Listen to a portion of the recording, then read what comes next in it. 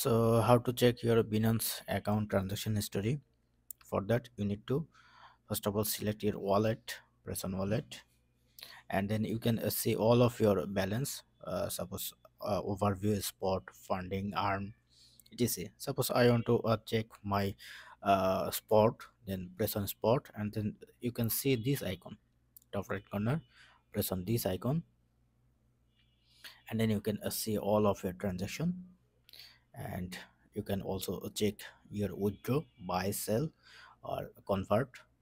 Uh, i am converting this amount. And similarly you can uh, check your funding.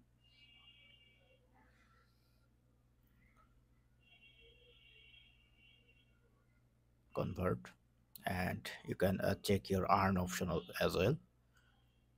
So i have no earning. So this is how you can easily check your uh, binance transaction on your mobile apps. Hope it. Helpful thank you